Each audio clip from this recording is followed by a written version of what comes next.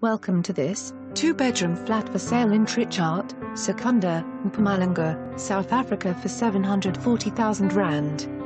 Modern and spacious flat with two bedrooms and a full bathroom. The kitchen has beautiful melamine cupboards with granite tops. The stove has gas plates and an electrical oven. The breakfast nook is ideal for morning breakfasts. The living areas is open plan with the kitchen. Balcony with built-in braai.